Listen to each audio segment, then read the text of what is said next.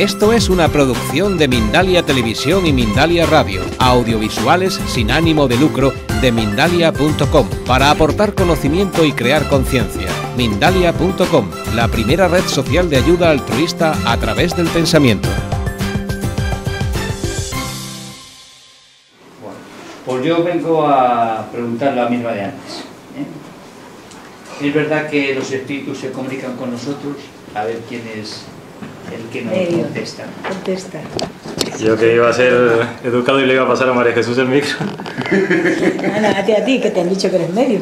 Bueno, eh, buenas tardes a todos, gracias por venir. Eh, gracias por estar nuevamente aquí con nosotros. Es bonito que a pesar del calor y a pesar del mes que hace, pues estéis y también es bonito para nosotros estar nosotros aquí.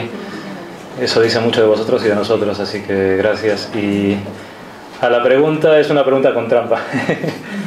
claro que se pueden comunicar con nosotros, sí. Eh, con algunas condiciones. Se pueden comunicar si quieren y si pueden. Eh, y también si, si, si nosotros merecemos o ellos están en una disposición de poder hacerlo. Eh, pero se pueden comunicar sí también si esto está más o menos bien o hay alguna preparación anímica o espiritual para que pueda ocurrir. Eh, no se trata solamente de decir sí y ya. Pregunta al contrario. ¿vale? Entra, eh, ¿Cómo se encuentra la persona receptora de, de esa comunicación? ¿no? Eh, entonces, mm, la primera pregunta sería, ¿en, en qué tipo de estadio, cómo tendría que estar ese espíritu para, para poderse comunicar con algún ser querido? Con... Mira, eh, la, primera, ¿vale? Eh, en diferentes estados que pueden estar, pueden intentar comunicarse. Un espíritu que está en un estado más o menos eh, nivelado, alto, digamos por decirlo así, tendrá menos dificultades para poder intentar una manifestación. Un espíritu que está, digamos, en un estado débil, empobrecido, de sufrimiento, le va a costar mucho más y va a intentar de diversas maneras intentar comunicarse. Aunque en realidad la comunicación tendría que ser mucho más sencilla. Tendría que ser mucho más sencilla, del mismo modo que tú y yo estamos hablando. Pero es que hay algunos que están en un estado tan débil que no pueden ni hablar. Entonces recurren a mil cosas para intentar hacerlo. Pero del mismo modo que ese espíritu puede intentarlo, si tú estás en un nivel más o menos sensato, más o menos medio de normalidad, entre comillas, si es que existe eso tal cual, tú también podrás ser proclive a determinadas cosas, pero también en eso tiene mucho que ver cómo estés tú por dentro, cómo estén tus sentidos, cómo esté tu, tu ánimo, cómo esté tu personalidad. En un nivel medio el teléfono funciona bien, pero en un nivel que está un poco así, las ondas, ¿sabes? Y en un nivel que está bien y alto, todo fluye mejor. Te puedo, puedo abusar de otra, La nada segunda, más. eh, ya. luego ya pasamos a Eh, y es cierto esto que se dice, que algunas personas relacionadas con este mundo espírita, eh, que cuando fallece alguien mm, hay que dejar un tiempo de un año hasta que para intentar comunicarse. Mira, el, el tiempo es una cosa que ya en- haciéndome un poco el científico, aunque estoy muy de acuerdo con eso, el tiempo, para los espíritus también comparte varias, varias visiones científicas en este aspecto. O sea, el tiempo no es una, una cosa que digamos el tiempo es esto. Mm. Entonces, con los espíritus tampoco se puede decir, hacer un diagnóstico temporal, decir, no, es que esto es así, no, porque cada quien es un caso distinto. Lo que es cierto es que cuando tú te vas, del mismo modo que tú te vas a otro país donde no sabes, no has estado nunca en ese país, no conoces ese idioma, no sabes por qué calles andas, tienes que pasar un tiempo para acostumbrarte y aclimatarte a ese sitio, tú no puedes aclimatarte a ese sitio si de repente tu familia te está llamando todo el tiempo y te está diciendo que te echa de menos y que por qué no te vuelves y que qué pasa, qué tal. Cada quien cuando se va requiere un tiempo para, para aclimatarse. Y nosotros que estamos aquí lo que no podemos es eh, intentar atarles desde aquí, porque imagínate, si tú estás confundida, quieres ir para un lado, pero por el otro lado te están llamando y no sabes, y te quedas ahí y sufres, lo pasas mal. Pero el tiempo es una variación completamente... No podemos hablar de un año como un año. Para ellos el tiempo prácticamente no existe, pero sí existe si están mal. En el sentido de que para ellos un, un año puede ser un siglo si están mal, como para nosotros. ¿No te ha pasado que a veces dices, cuando estás triste, te parece que una hora son cuatro? Pues igual, Gracias. Por aquí. Sí, eh, yo quería preguntar una cosa. Eh, yo, bueno, mis padres han, han muerto, los dos en poco tiempo, y yo hablo con ellos diariamente, cuando estoy en el coche, en casa, Entonces siempre me pregunto si les llega, les pido perdón, les eh, cuento cosas que me desahogo y siempre me pregunto, ¿les estará llegando o no les estará llegando? o sea, mis sentimientos, lo que estoy hablándoles. El día que dejes de dudar, los vas a escuchar. ¿Tú no has soñado nunca con ellos? Sí, he soñado. Pues ya se están comunicando contigo. Lo que ocurre es que tú no lo percibes porque crees que es un sueño vulgar y corriente. No es un sueño. Ellos han bajado a ti, se han comunicado contigo, pero tú, que no estabas segura de nada, has creído que era un sueño vulgar. Ay, he soñado con mis padres, mira. No. Han bajado tus padres a hablar contigo porque te escuchan, porque quieren que te calmes, que te serenes, quieren decirte que están bien, porque si no, no habrían podido bajar.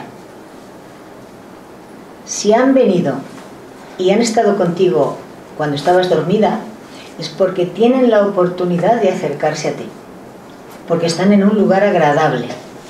Lo que ocurre es que cuando tú les hablas, esperas oír, como no oyes, te quedas así un poco de mala gana. Relájate, habla con ellos, relájate. Como no tienes capacidades mediúnicas, no los puedes oír directamente, pero en la noche pueden comunicarse contigo, pero tienes que tener calma y serenidad. Y si tú les estás enviando, o sea, si tú, digamos, como dices, piensas en ellos o, o pides por ellos o o piensas en, en Dios con amor, eso por supuesto que les llega. no hace falta que, que, tú expreses un sentimiento de manera explícita para que alguien lo note. Si tú miras a una persona con amor, no hace falta que le digas ni una palabra, lo nota. Y si tú a una persona, tú estás al lado con una persona y, y te sientes bien con esa persona, no hace falta ni siquiera que le des un abrazo. Y ellos, en un estado más sutil, que seguramente están, pueden notarlo, ¿sabes? Pueden notarlo. Más preguntas. Ángeles. A mí me gustaría saber qué debería hacer yo para comunicarme con mis seres queridos. Sería una buena, una buena idea que Manuel responda, ¿eh? Sí, sí, sí. ¿Quién ha hecho esa pregunta? Que yo la quiero ver la cara. A ver, Ángel, ¡hala! ¿Qué tienes, qué quieres, qué, ¿Qué tiene que hacer, ¿qué tienes para, que hacer tú para comunicarte con mis seres queridos? Exactamente. Pues subir tu vibración, estar tranquila, pensar en ellos con, con amor, como decía Aldo, pero con mucha serenidad y con mucha calma, sin llanto, sin dolor, y recordando siempre las cosas bonitas. No, ay, es que se fue y no le pedí perdón, ay, es que me hizo no sé qué. No, las cosas negativas hay que olvidarlas. Si pensáis siempre en las cosas positivas, en lo bonito que hiciste con, con la persona que quieres comunicarte, no te quepa duda que vas a comunicarte con él. Él se va a comunicar contigo, tú con él no. Tu capacidad, al no tener mediunidad, no alcanza eso. Pero ellos sí pueden ponerse en comunicación contigo. Pero tienes que tener calma, serenidad, recordarles, hablar con ellos, y no olvidéis que cuando la mediunidad no está desarrollada, ellos se comunican a través de los sueños y también a través de otra persona. Un día estáis hablando con una amiga, con cualquiera, y de pronto esa persona os está contestando a algo que vosotros habíais hecho. ¿Y esta persona cómo sabe esto? Porque ella ha sido intuida por ese ser que tú querías que te intuyese a ti. Y que a lo mejor lo ha hecho, pero tú no lo has percibido. Y lo hace a través de ese ser. Y tú escuchas. Es, hay que prestar atención. Porque Dios ayuda a los hombres a través de los hombres. Puede ser también en un momento que estés así relajada y tranquila, puedes... Claro, y te quedas así traspuesta, sin llegar a dormir, en ese instante es una buena forma de, de que ellos se puedan comunicar contigo. Dani, tú ibas a preguntar. Uh, iba a preguntarte una cosa. Uh, de las palabras anteriores tuyas eh, parece defenderse, bueno, claramente creo que se deduce que la duda eh, erige un muro uh, entre, entre la posible comunicación espiritual y la, y, la, y la material. eso, evidentemente, se, creo que se eh, que se alinea con muchísimas otras corrientes de pensamiento. Es no solamente en la, en la cuestión eh, de la comunicación espiritual, porque dice que cuando, cuando dudamos estamos cerrando puertas, estamos negando, estamos construyendo eh, ese muro. Entonces, pienso que, mm, es una pregunta, si, si dudamos estamos evidentemente imposibilitando esa eh, potencial eh, comunicación? Sí y no. ¿Estás cerrando puertas? Claro que sí. Pero como ellos tengan que darte un comunicado, te lo van a dar. De una forma o de otra. Y tú te sorprenderás. Y entonces es cuando dirás, qué bobo fui, he estado negando durante todo este tiempo esto, aquello y lo otro, y mira, con qué facilidad me han demostrado que están ahí. Dudando, no negando. Pero, mm. pero claro, la duda puede ser una negación. puede ser una negación, claro Pero ahí está, justamente ahí está el matiz. El matiz es que eh, siempre tendemos a pensar que la duda es algo negativo. Pero una cosa es la duda y otra cosa es cuando la duda se enmascara en negación. Que ese es un mecanismo que muchas veces utilizamos mentalmente cuando no estamos seguros, pero tampoco queremos averiguar si estamos seguros o no estamos seguros. Entonces, dudar a veces es bueno porque tampoco podemos estar viendo espíritus en todo lado porque sí. Pero tener el, como dice María Cruz, cuando te llega, te llega. Aldo, pero eso me refería a la duda ya eh, más eh, institucional. Es decir, eh, dudas de que realmente exista ese mundo espiritual. Ese, entonces, claro, lo dudas, dudas que eso pueda ser cierto. A eso, a eso me refería. Claro, esas dudas siempre están, pero lo bueno de que estén esas dudas es que siempre va a haber alguien en, esos puntos, se me ocurre Manuel, por ejemplo, que estando en, en cerca de la puerta, digamos, del, del, parámetro científico, diga, pues, ¿por qué me voy a quedar en la puerta? ¿Por qué no voy a entrar y ver lo que hay? Hay mucha gente que tiene miedo a eso. Pero generalmente, y cada vez sospecho más que esos miedos tienen mucho que ver con, con costumbres, pero también con temores personales. En lo personal ya no dudo. ¿Sabes? Y eso es un buen puente porque nos lleva a Manuel. bueno, por alusión sigo. Sigue tú, porque eh, Mira, eh, cuando uno empieza a entrar en este mundo supuestamente espiritual, le cojamos desde el lado de que le cojamos, ya sea espiritismo, ya sea movimientos filosóficos orientales, ya sea lo que queramos, siempre vas a tener una característica y es, por un lado, el hecho de que nuestra cultura nos lo niega por encima de todo. Tú has crecido en una cultura en que todo este mundo espiritual no existe. E incluso si has hecho alguna alusión al respecto, directamente lo que te han dicho es eso de niño, cállate y no digas tonterías. O sea, eso ha sido lo mejor que han podido hacer, porque en algunos casos yo he conocido a quien nos han puesto en tratamiento. O sea, simplemente por hacer ciertas alusiones a cosas que no tenían nada que ver ni con ninguna patología ni nada. El tema es sencillamente es una cuestión cultural. ¿Qué ocurre? Que cuando tú entras en contacto con estos casos, tienes el problema de que no sabes cómo asumirlo y cómo responder a ello. Son cada vez más, se cuentan las historias de una persona que en un momento determinado, pues algo tan sencillo de que lleva una semana de un estrés impresionante y un día sale, estoy contando un caso real, sale al balcón de su casa y tiene una sensación extraña, la sensación de que como sintiera que conectaba con todo el universo. Eso se llama directamente un cuadro místico. Luego lo podemos explicar como quieras. Tenía una sensación de Dios, ha tenido una sensación espiritual, ha tenido lo que tú quieras, me da igual. Pero la realidad de esos casos se da. Y ese señor sale corriendo y se va al médico. Pero se va al médico por dos cosas. Lo primero, porque lo que ha vivido le ha metido en un estado de pánico absoluto. Porque lo que es su razonamiento es sencillo. Me he vuelto loco. ¿Y si lo buscaba? El problema es que muchas veces hay quien lo busca, pero el problema es que eso es algo que a veces tú no buscas y tienes la vivencia. Entonces, cuando tienes la vivencia es cuando no sabes cómo reaccionar. Pero no sabes reaccionar porque no es que no sientas esa vivencia como algo especial o como algo diferente que en un momento determinado has tenido, incluso como una sensación agradable. No, es que tu cultura te dice que ten cuidado que eso es de locos. Entonces, ese es el gran problema que ocurren estas cosas. Cuando tú tienes estas vivencias, ¿qué ocurre? Que realmente sales por el lado del el miedo a nivel social, desde que has nacido te han ido metiendo miedo con todo. E incluso aquellos que de alguna manera mm, controlan el mundo espiritual en este mundo, o sea, en la Iglesia Católica, inmediatamente te mete el miedo en cualquier actividad de este tipo. O sea, que es que estás hablando de que no tienes una vivencia espiritual como puede hacerse en otras culturas. En otras culturas una vivencia espiritual se vive como tal y el que la ha tenido pues vale muy bien. Y, no, y nadie, ni se considera mejor, ni peor, ni más, ni menos, ni nada. O sea, a nivel del mundo oriental, las vivencias espirituales, bueno, pues todo lo que puede pasar es que el que la tiene, pues cambia su manera de ver la vida y cambia su manera de actuar en el mundo. Suelen ser personas que luego se dedican más a actividades de tipo de ayudar a los demás y cosas por el estilo. ¿Por qué? Porque les cambia su manera de ver la vida, nada más. Pero evidentemente eso es una vivencia normal. Por eso te digo que cuando, ¿cuál es el problema?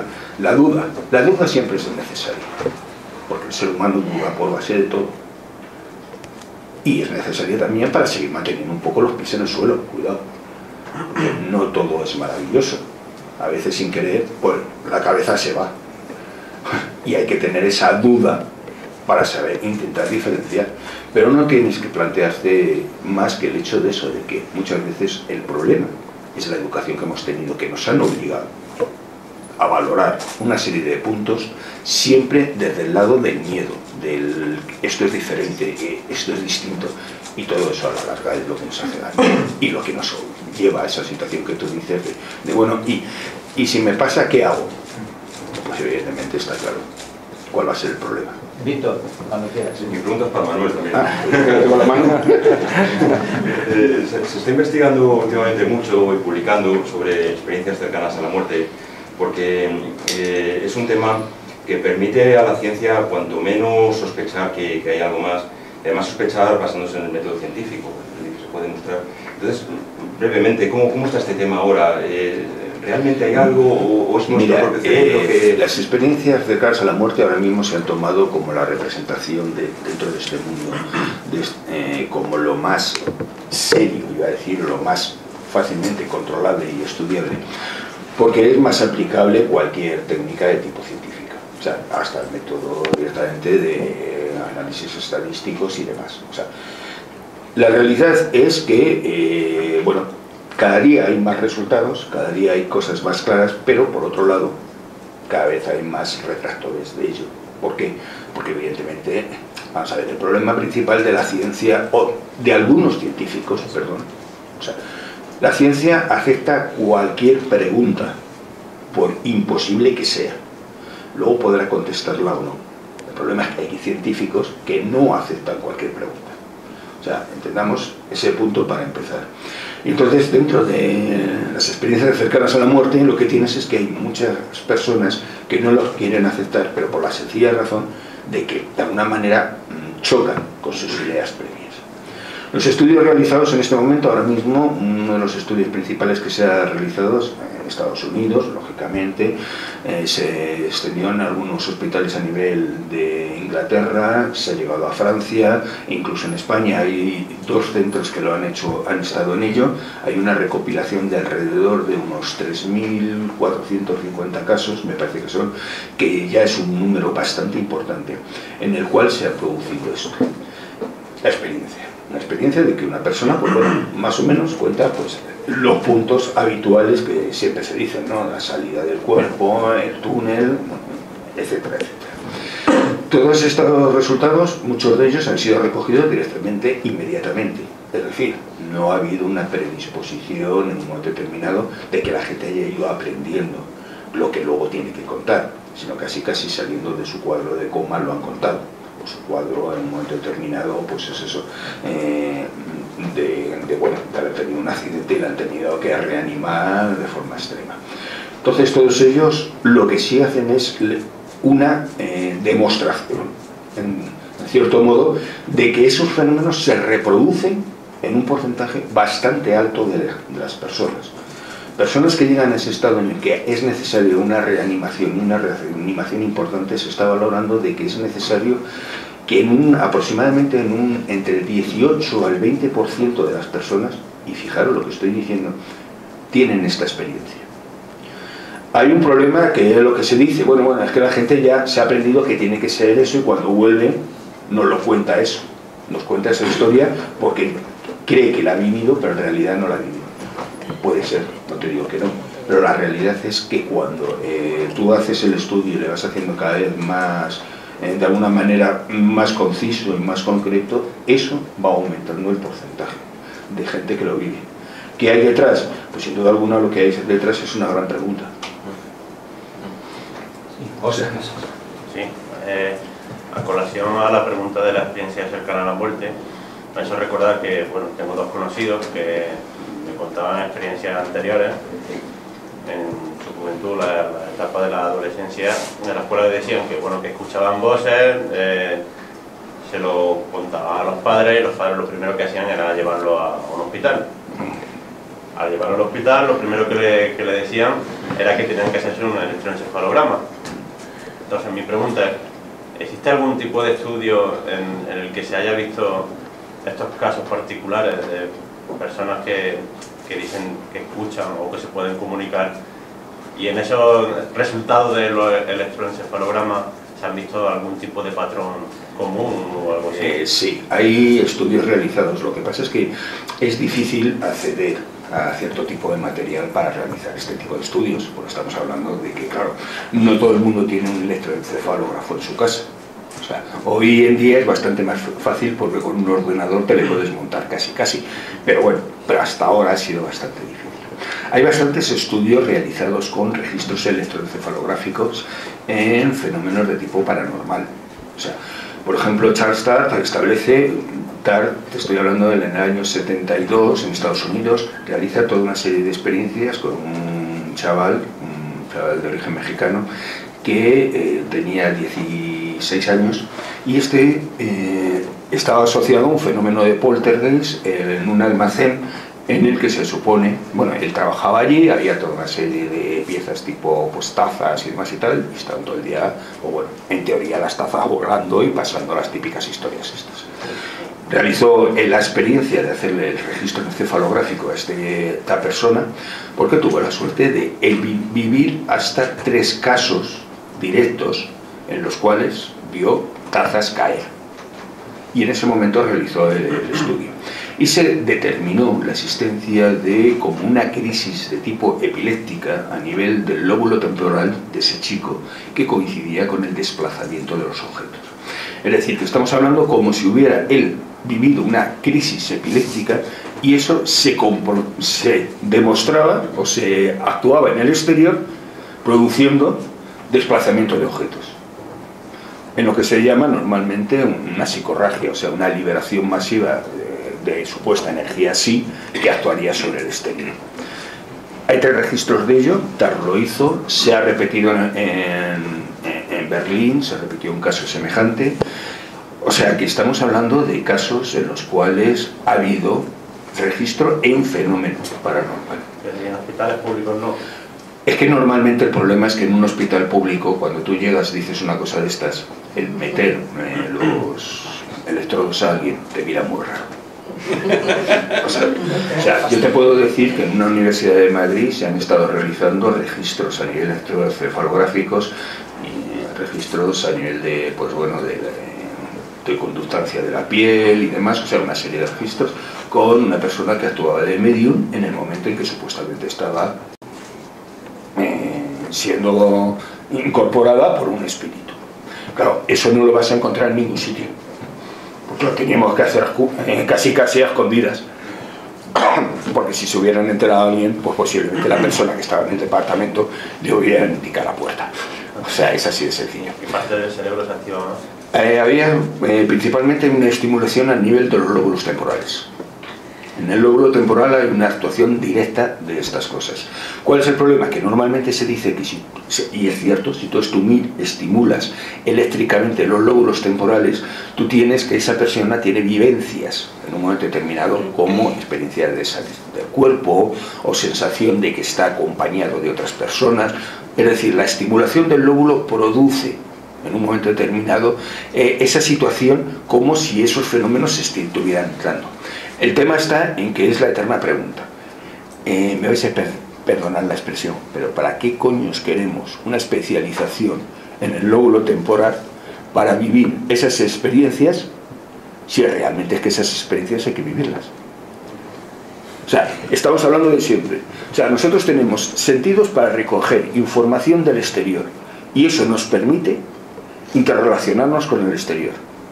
¿Por qué tenemos posibilidades de tener respuestas de tipo místicas, comprensibles, vía cerebral, si realmente no existiera algo que justifique esa utilización cerebral? Esa es la gran pregunta. ¿Para qué tenemos algo que no nos sirve? Al revés, tenemos algo para algo. Porque realmente el ser humano, hombre, ha ido evolucionando, tenemos toda una serie de vestigios sobre todo físicos, como el apéndice y demás, de otras épocas, otras características, pero lo que sí está claro es que más o menos la mayoría de lo que hemos ido, se ha ido seleccionando a lo largo de la evolución humana es con una función. Entonces, si nuestros lóbulos temporales nos permiten tener la vivencia de un cuadro místico, ¿para qué le queremos? Si eso no tiene una base real. ¿No te parece? Preguntas. Mercedes. Mercedes. A ver, ¿qué se puede hacer con las personas que sufren alteraciones psíquicas? Para Manuel. Ah, bueno. eh, pues mira. No, no, no, no, sin problema, sin problema. No, lo digo porque no quería empezar.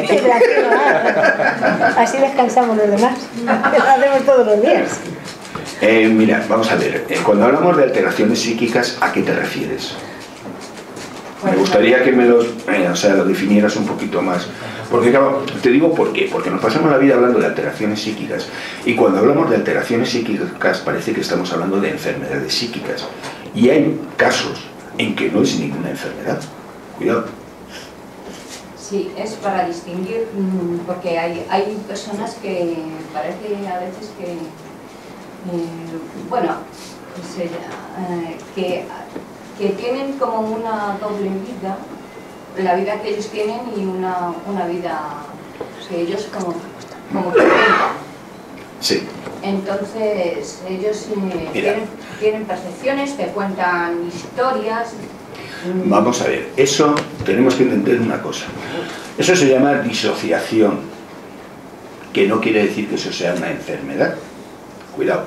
El problema está que, bueno, cuando hablamos en psiquiatría y en psicología de toda una serie de términos, todo el mundo entiende que son enfermedades y no, no son enfermedades. Son una manera de clasificar, clasificar en un momento determinado maneras de actuar, pero eso no quiere decir que sea una enfermedad, porque todos tenemos un poco de depresivos, un poco de maníacos, un poco de disociados, un poco de, un poco de todo, que dependiendo de las necesidades del exterior, tú te adaptas mejor con esas modificaciones. Vamos a ver, yo no soy, ni ninguno de los aquí presentes, igual en todos los sitios.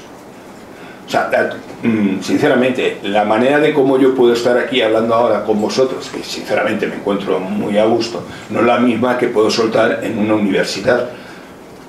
¿Por qué? Porque la relación es diferente, entonces eso me obliga a crear otro personaje, otra manera de actuar, que sea más aceptada en ese entorno.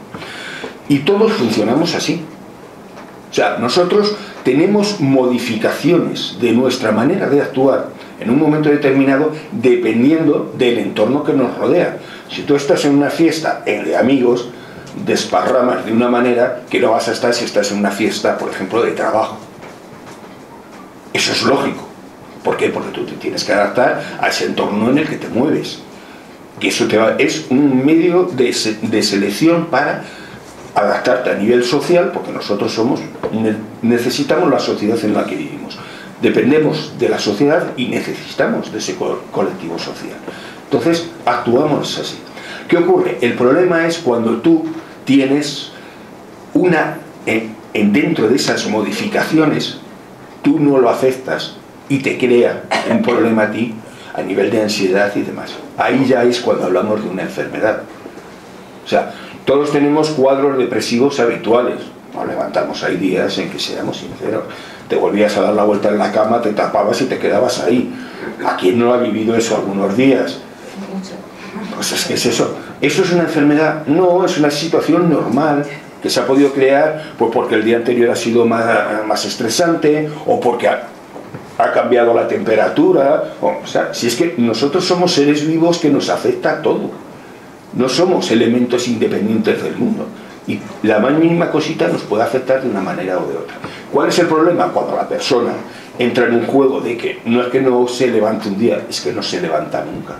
Ahí sí hay una patología. Y más cuando esa persona la vive directamente como un problema personal.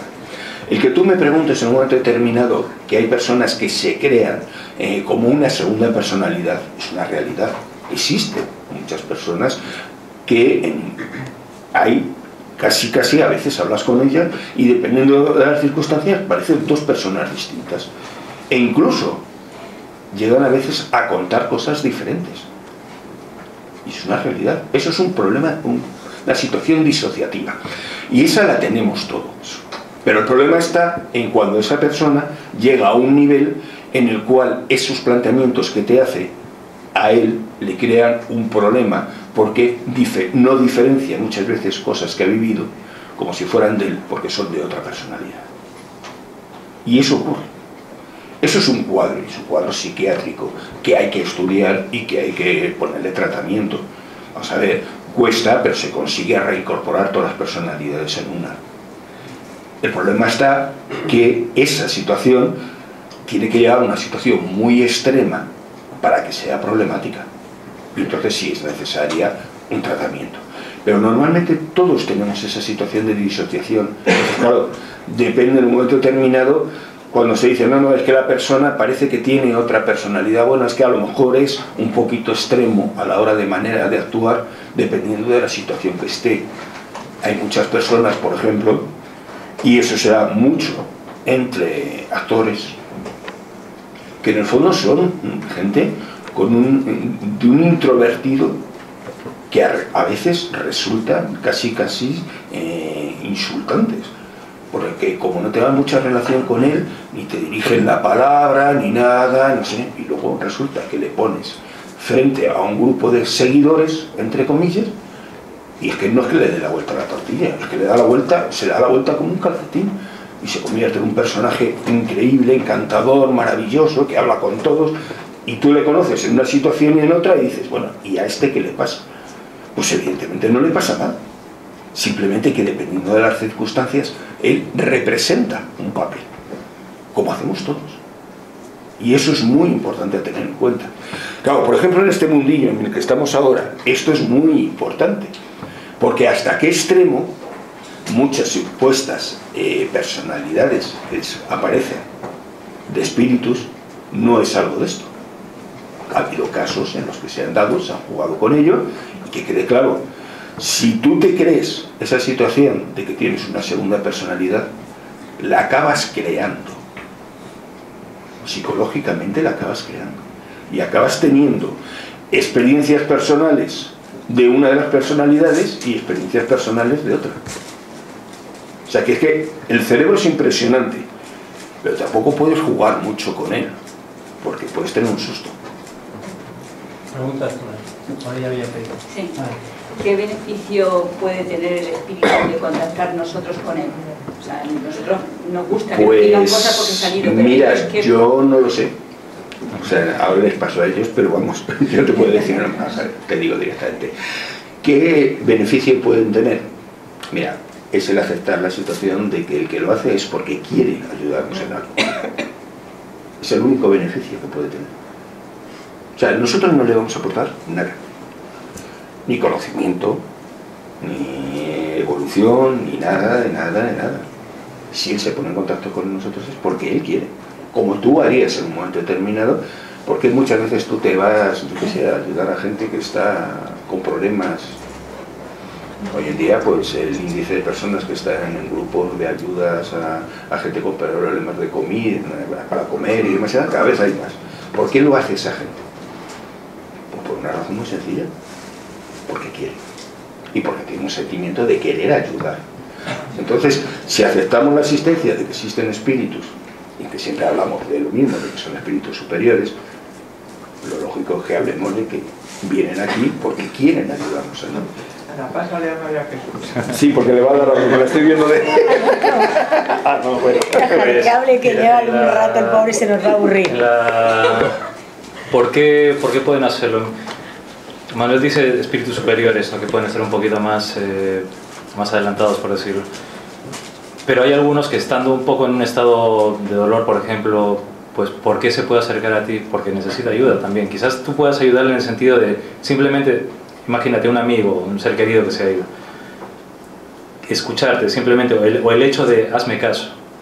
Lo que te decía hace un momento, ¿no? Imagínate que estás en una ciudad, no te conoce nadie y estás haciendo así. Y a todo el mundo le hablas en tu idioma y no te, te miran con cara de qué me estás contando. Hasta que de repente alguien escucha lo que tú estás diciendo en tu idioma y te responde en tu idioma. Y entonces tú le preguntas, oye, ¿dónde puedo ir? ¿Qué puedo hacer? ¿Dónde estoy? Y esa persona te puede responder. ¿Qué es importante con esto? Tener en cuenta que nosotros somos espíritus. O sea, no son ellos solamente. O sea, nosotros cuando nos vayamos, pues nos tocará o no nos tocará estar en esa situación de preguntar dónde estamos, qué hacemos.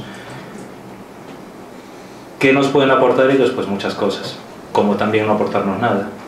Y en el peor de los casos, aportarnos la experiencia simplemente de saber qué cosas no nos convienen o qué cosas nos convienen. Pero todo es recíproco, ¿sabes? O sea, tal cual eres aquí, allí vas a ser. No, no existe eso de que tú te vas y te conviertes en un ser completo de luz en el cual entras en un estado. No, no, no. Es, las cosas son mucho más sencillas y lógicas. O sea, tú como eres aquí, vas a ser allí. Del mismo modo que lo que, lo que hoy eres, probablemente hace 40 días eras de esta manera, pero hoy de repente has aprendido una cosa nueva o cositas nuevas, pero sigues manteniendo cosas de hace 40 días atrás o de 15 años, entonces es todo un, como un tren. No preguntas. No, tú, no, por ahí hay más gente. Sí, por allí. Eh, quisiera saber que por qué medios o mediante qué camino se comunican con nosotros los espíritus.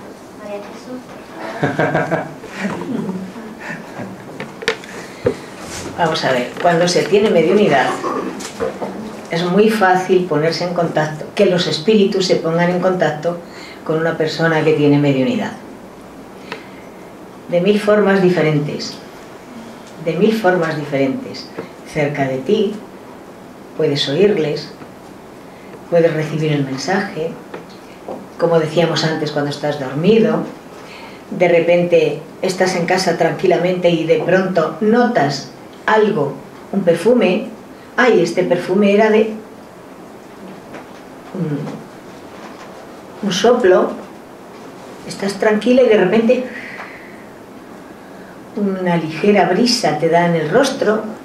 Hay mil formas de que los espíritus se pongan en comunicación con nosotros. El problema está en que nosotros estamos más pensando en las cosas materiales que en las espirituales.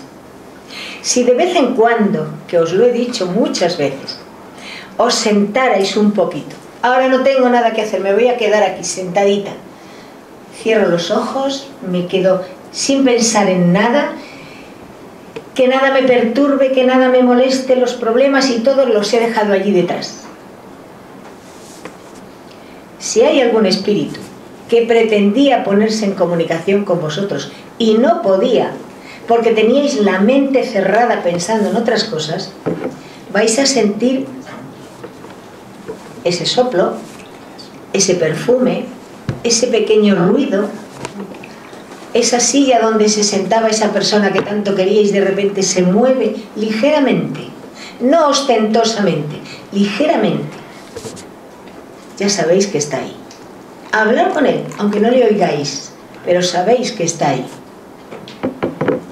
tenéis que tener tranquilidad y pensar más espiritualmente que físicamente.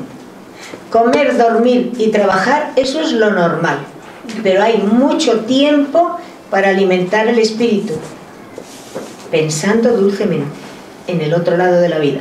Veréis con qué facilidad conseguís sentir a los espíritus. Por allí, la mano, por allí. Inés, tú has levantado la mano antes. No, no la levanta ahora. Pues te voy a poner dos cruces luego. ¿Usted? ¿Usted? ¿Tampoco? Tú misma, venga. A ver, ¿qué os pasa? Que no preguntáis. ¿Cuál es el eh, problema? ¿Es verdad que personas que tienen alteraciones físicas, perdona, psíquicas, son producidas estas por los espíritus? Eh, mira, eso te digo directamente, desde mi punto de vista, no. Cada uno aquí en la mesa tendrá su opinión. No Eh, olvidéis que es científico, ¿eh? Y la o sea, ciencia tiene lo- que, tienen que demostrarlo.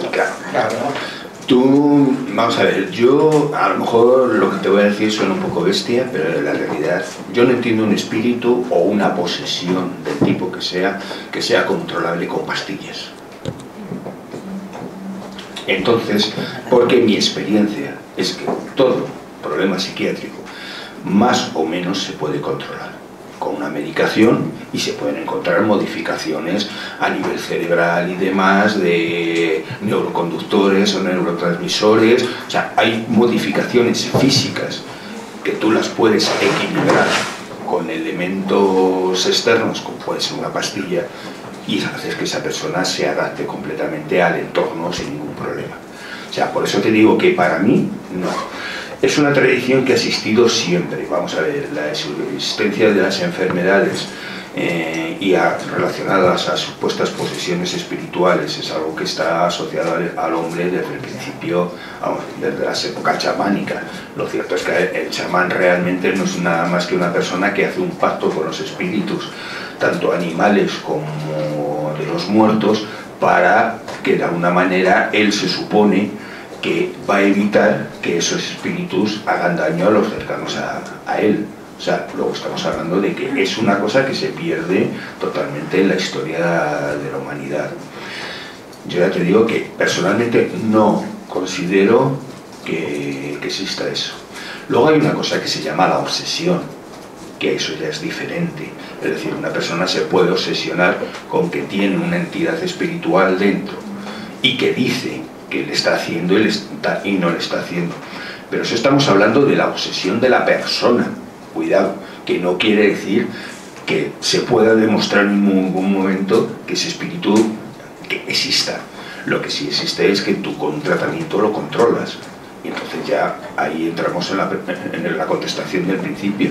O sea, un espíritu que le controlas con, con cuatro pastillas, pues a mí la verdad es que como espíritu me deja un poquito que desear.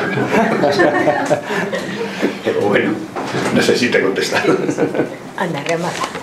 Remata. Pues eh, es importante, yo estoy de acuerdo con Manuel respecto a la historia esta de la facilidad con la que muchas veces se atribuyen a espíritus determinadas cosas que tienen una causa absolutamente física. eh, y es importante decirlo porque dentro de este mundo de la mediunidad, la sensibilidad, muchas veces se atribuye todo a los espíritus. Y en realidad hay muchísimo que es esto, es aquí. O sea, eh, siempre decimos ¿no? que es mejor eh, ser crítico y desechar todo porque es que juegas con fuego. Eh, como bien dice Manuel, o sea, mm, hay mucha gente que atribuye a estas cosas, pero claro, de, de repente viene un medicamento y muchas cosas se, se adormecen, desaparecen. Eh, luego el tema de las posesiones, ¿no? Eh, ¿Qué posesión? O sea, si tú tienes un espíritu, va a venir otro, se te va a meter, ¿qué pasa con tu espíritu? ¿Tienes dos espíritus dentro? Pues no. que fueras un autobús. Claro, o sea, es que no es, no es. Si te fijas, muchas de las llamadas posesiones eh, tienen cuadros clínicos bastante arquetípicos, perdón, que se repiten. Eh, y se repiten muchas cosas, ¿no? Eh, las xenoglosias, las, las blasfemias, o sea, se atacan determinados puntos que son comunes en todas las historias, en todas las religiones. Entonces, hay algo sospechoso. ¿No será más bien que muchas veces se quiere decir espíritu cuando lo que se quiere decir es mi espíritu?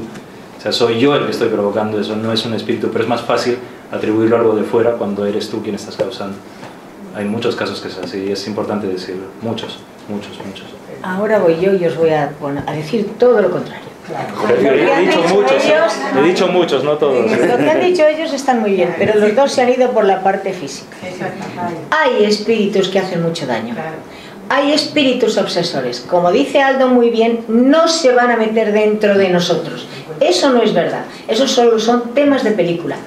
Pero sí nos abrazan, sí nos envuelven, sí mm, perturban nuestra voluntad y hacemos lo que ellos quieren. Y pueden hacer mucho daño, más del que nos imaginamos. Pero eso no se cura con pastillas, como dice Manuel, es verdad, no se cura con pastillas. puedes calmar a la persona, pero el espíritu sigue ahí. Y si el espíritu quiere, le hará tirarse al suelo, le hará pintar en las paredes, le hará blasfemar, lo que el espíritu quiera. Así que si no queréis una obsesión en el grado máximo, cada vez que percibáis en vuestra mente algo, un pensamiento extraño que no es vuestra forma de sentir ni de pensar, rechazarlo. Ay, este no soy yo. Porque no olvidemos que hemos vivido varias vidas. Y no olvidemos que no sabemos lo que hicimos en una vida anterior. Ahora somos muy buenos, somos fantásticos, somos estupendos. Pero ¿y ayer? ¿A quién hicimos daño? A esa persona que hicimos daño puede ser vengativa. Y en este tiempo nos encontró. Y se va a aprovechar de nosotros. Se va a vengar, nos va a hacer daño. Claro que nos va a hacer daño. Pero no olvidéis una cosa. No solo hacen daño los espíritus a los encarnados, sino los encarnados también a los espíritus. Y los espíritus a los espíritus. Y los encarnados a los encarnados. Todos nos podemos hacer daño. Pero teniendo cuidado. Cuando penséis, cuando veáis que en vuestra mente hay un pensamiento que no es vuestro y le notáis extraño, analizarlo y decir, ¿y esto de qué? ¿Y esto por qué? Si yo no soy así, si yo no pienso así. Porque puede ser que en ese momento alguien os ha encontrado y se va a aprovechar. Si ocurre esto, veníos a un centro espírita que aquí os podemos ayudar, sin pastillas, sin medicamentos. Eso ya a lo mejor hace falta. A lo mejor hace falta, pero eso ya sería después. No hay que cerrar las puertas. Eso sería después. Pero hay una cosa importante, una cosa importante que ha dicho María Jesús y que yo estoy de acuerdo con lo que ella dice, pero importantísimo es analizar, porque es muy fácil, muy fácil decir que son los espíritus. Es muy fácil decir que uno está obsesado. Es muy fácil decir que un espíritu le está haciendo hacer algo a uno. Es muy fácil, es lo más sencillo es importante cuando he dicho lo de venir aquí, ¿por qué? Porque muchas veces viene mucha gente que lo que realmente tiene es un problema personal, su propio espíritu. pero es muy fácil atribuirlo, pero claro, o sea, si tú estás débil, alguien más fuerte que tú va a hacer que hagas cosas, te va a influir. Y eso nos pasa a nosotros porque somos espíritus. ¿no?